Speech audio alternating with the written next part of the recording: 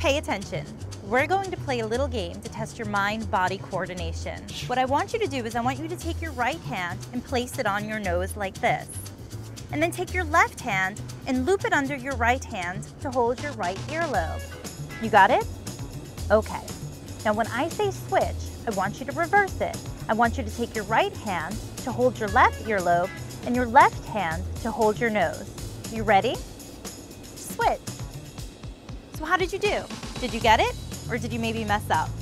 Don't feel bad if you messed up. Sometimes your body has a mind of its own.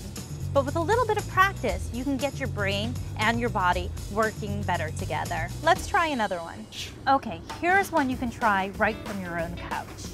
Using your lap as a surface, I want you to take your left hand and I want you to place it on your left leg. Now make a fist with your right hand and place it on your right leg. What I want you to do now is I want you to gently move your left hand back and forth in a sliding motion as though you're sanding a surface. And then gently lift and lower your right hand as though you're hammering. You got the motions going? Okay, good. Now when I say switch, I want you to reverse it. Are you ready? Switch. It's not as easy as it looks. Did your left hand try to make a sliding motion with your fist? Okay, we're gonna really pay close attention and we're gonna try to do it together now. And let's see how many we can get correct. Are you ready? Okay. Switch. Switch. Switch. Switch.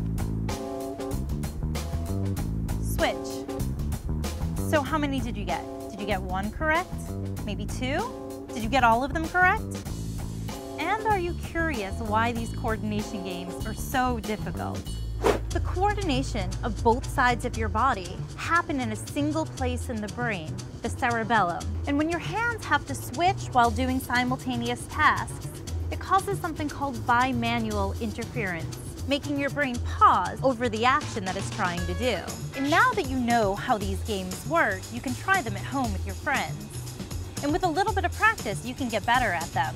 But as you know, the first time you do them, they can cause some serious brain-body mix-ups.